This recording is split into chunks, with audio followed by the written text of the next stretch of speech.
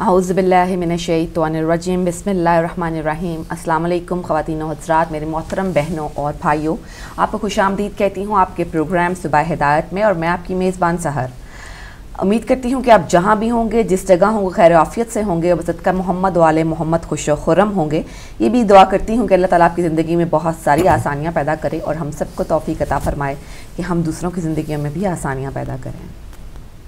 اعوذ باللہ من الشیطان اللہ الرجیم، بسم اللہ الرحمن الرحیم۔ السلام علیکم ناظرین، میں ہوں علی موسفی پروگرام صبح ہدایت کے ساتھ آپ کی خدمت میں حاضر ہوں۔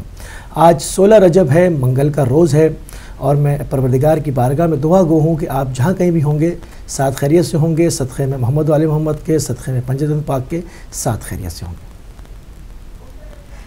جی خواتین حضرات جیسا کہ آپ کو معلوم ہے کہ ہمارا پہلا سیگمنٹ ہوتا ہے ہدیہ عقیدت کا، اور ہدیہ عقیدت میں ہم آپ کو دن کے مناسبت سے جو ہے وہ کوئی جو کلام ہے وہ آپ کے سامنے پیش کرتے ہیں، اور اب ہم، آج ہمارے پاس ہے منقبت، اور منقبت کی طرف ہم چلتے ہیں۔